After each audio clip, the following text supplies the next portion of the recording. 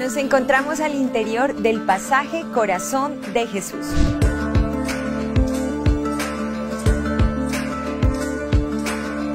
Este es un pasaje comercial donde ustedes encuentran ópticas, el despacho parroquial del Templo de San Juan, cafés y por supuesto artesanías que no se pueden perder y también comprar y apoyar el talento de nuestra gente.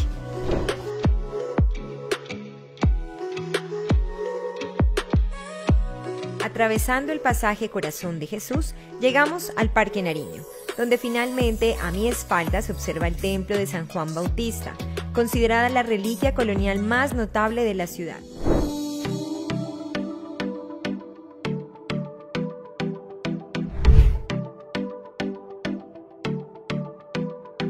Nos encontramos en el templo San Juan Bautista, la primera catedral de la ciudad de Pasto que antes era llamada Villa Viciosa de la Concepción de Pasto. El templo se construyó en el año de 1541 y debido a dos terremotos que ocurrieron en 1580 y 1616, la obra se desmoronó y tuvieron que volverla a reconstruir. Este lugar está lleno de historias y de grandes tesoros arquitectónicos.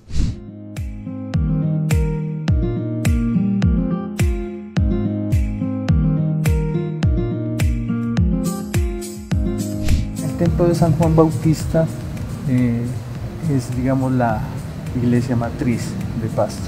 Un elemento destacado es el altar mayor, el cual que en su momento la trajeron los artistas de la escuela quiteña. Una imagen destacada de este altar, aparte de la imagen de San Juan, es la Virgen Danzarina.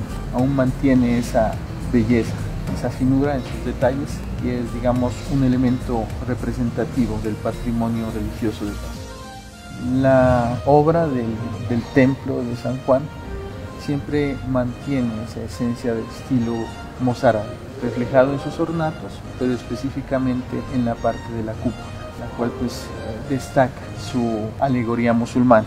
Dentro del templo de San Juan Bautista encontramos cuatro capillas. Estamos en una de las principales, la cual es la capilla de San Miguel. Hay cuatro referentes importantes. Uno de ellos es esta gran eh, gigantografía de la Trinidad, elaborada en su momento en la década de los años 40. También podemos encontrar aquí la imagen de San Juan Bosco, el cual eh, es una de las primeras después de que fue canonizado en el año de 1937 y están aquí los restos del general Agustín Agualongo, la cual pues en un homenaje sus restos pues eh, tienen esta connotación. Bueno, llegamos al final de este especial desde el Templo de San Juan Bautista aquí en la capital nariñense.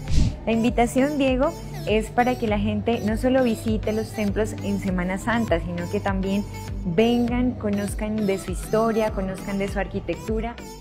La invitación a nuestros visitantes, eh, busquemos de nuevo estos espacios como destinos de fe para el encuentro. Muchas gracias. Thank you.